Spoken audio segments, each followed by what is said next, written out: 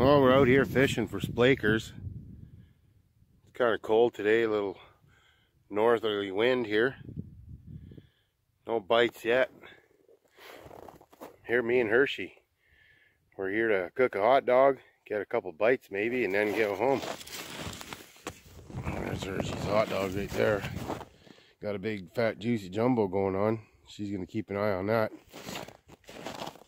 Yeah.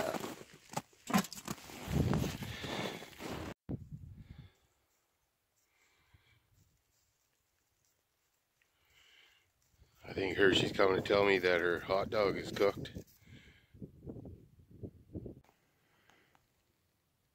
so here's how Hershey will eat her hot dogs. Can't give her a whole hot dog. She's not a savage. I gotta cut it up, let it cool down a little bit, and then feed her one piece at a time.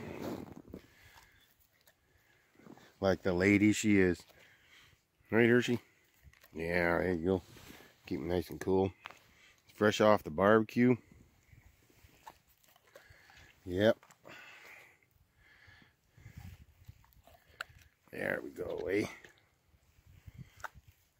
Oh, it's good, huh? Last one, Hershey. Last one. There you go. What do you think? You got anything to say? Other than let's go home? Hey? Was that good?